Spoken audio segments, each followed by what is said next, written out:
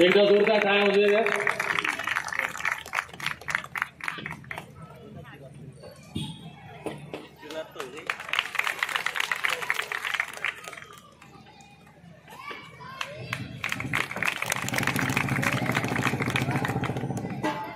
छत्रपती शिवाजी महाराज की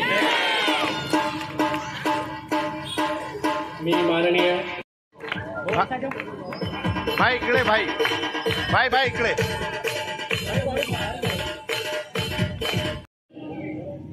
लोकप्रिय नेता पालकमंत्री माननीय संदीपानजी भुमरे साहेब त्याचप्रमाणे मध्यचे लाडके आमदार प्रदीपजी जयस्वाल साहेब त्याचप्रमाणे राजपूत साहेब यांनी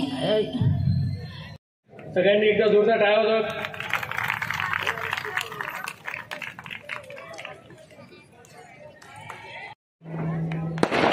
भैया।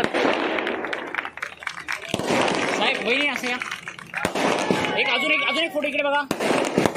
तसेच आपले जिल्हा प्रमुख भरतसिंगजी राठोड साहेब यांचं स्वागत रमेश भाऊ खरात हे करतील. साहेब इकडे बघा.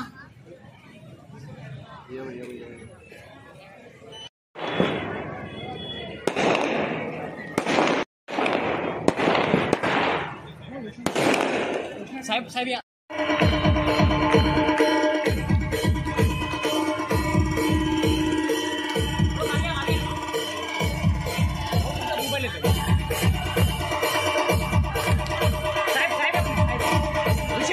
भाई भैया.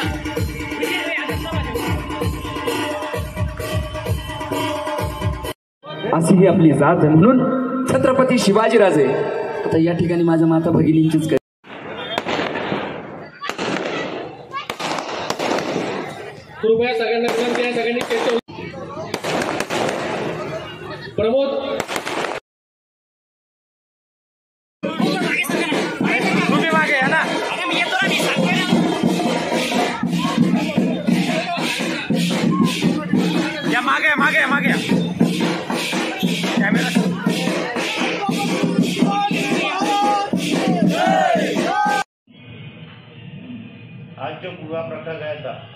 नारेली बाग में किस ताल्लुक से प्रोग्राम रखा था? क्या था प्रोग्राम का? उद्देश्य क्या था प्रोग्राम का? आज नारळीबाग खडकेश्वर, वार्ड क्रमांक बावन. यहाँ पर संभाजीनगर, छत्रपति संभाजीनगर शहर की बा- बाळा साहेबां की शिवसेने का पहली शाखा उद्घाटन सोहरा प्रारंभ हुआ. और इस उद्घाटन का सोहळे को माननीय पालक मंत्री संदीपान जी भुमरे पाटिल साहेब और मध्य के आमदार प्रदीप जी जायसवाल साहब इनकी उपस्थिति थी और अभी अभी वो प्रोग्राम संपन्न हुआ। बाला साहेब की शिवसेना जो आज सभी युवा तरुण यु, युवा पीढ़ी जो माननीय मुख्यमंत्री एकनाथ जी राव शिंदे साहेब इनसे प्रेरित हो रही है और एकनाथ जी शिंदे साहब सारखा जैसा मुख्यमंत्री अपने महाराष्ट्र को मिला है, इसकी हमें खुशी है। बाड़ा साहेब की शिवसेना ये खरी शिवसेना है। बाड़ा साहेब के जो विचार थे, जो बाड़ा साहेब ने हिंदुत्व के लिए आवाज़ उठाई थी, मराठी आदमियों के लिए आवाज़ उठाई थी, उनके न्याय हक के लिए आवाज़ उठाई थी, उनके विचार से प्रेरित होकर एकनाथ जी शिंदे साहब ने बहुत बड़ा कदम उठाया है और बाड़ा साहेब शिव, बाड़ा साहेब की शिवसेना की स्थापना की है।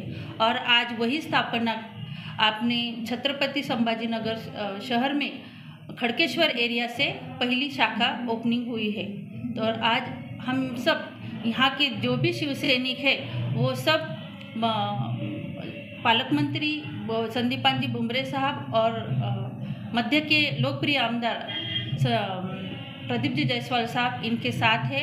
और हम हमारे जो नागरिकों जो नागरिक है, उनके जो प्रश्न है, वो मैंने आज उनके सामने प्रस्तुत किए हैं।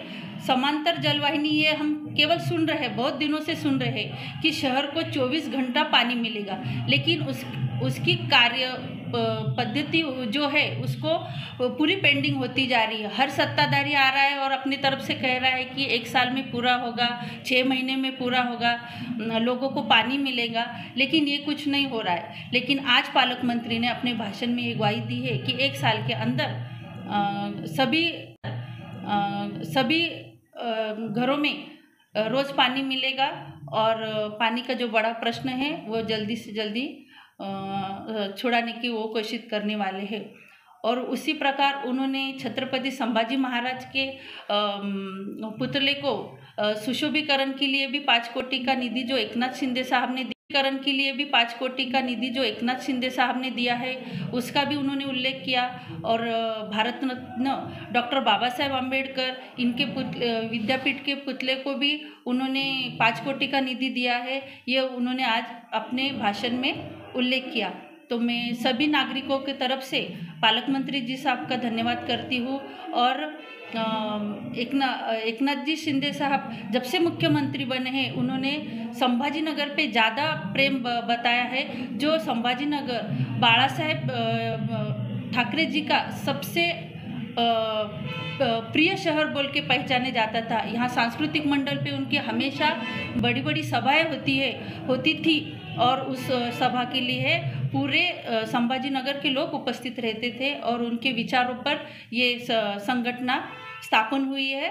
और एकनाथ जी शिंदे साहब इसको हम इसको आगे लेके जाने वाले हैं और हम सब शिवसैनिक उनके साथ में हैं। मेरा नाम प्राजक्ता विश्वनाथ राजपूत माजी नगर सेविका खड़केश्वर।